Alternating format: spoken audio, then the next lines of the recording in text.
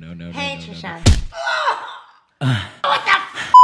You are one of my very best friends, and I cannot stand by and watch you throw away your life like this.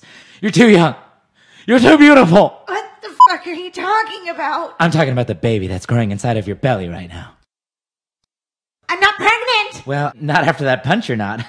I've been taking Muay Thai classes. I was never pregnant, Trisha. Uh, are you sure? Yes, I'm sure. I'm sorry, but why the f is everybody yelling over here? Oh, I found this positive pregnancy test, and there was. Good! Oh, mother